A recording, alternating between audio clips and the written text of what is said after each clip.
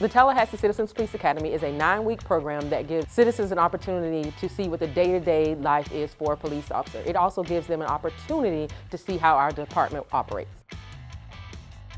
We're here tonight at the Tallahassee Police Department K-9 facility and we hosted the Citizens Police Academy and did a demonstration of what our dogs can do and provide for the city. That included showing them uh, obedience, area and building searches, drug detection, some apprehension work, and article searches.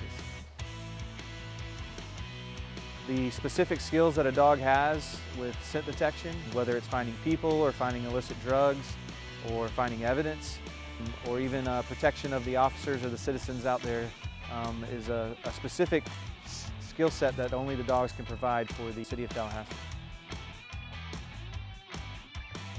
Well, the dogs provide us an opportunity to use their specific skill set to assist the department anything they may need to do.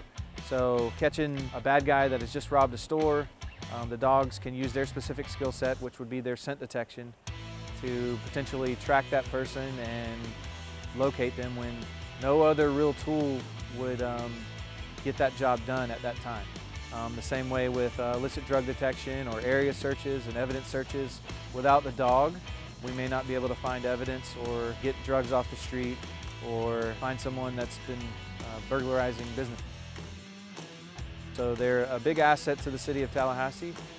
They provide a, a service that only the dogs can do and because of that, I wouldn't trade this job for anything.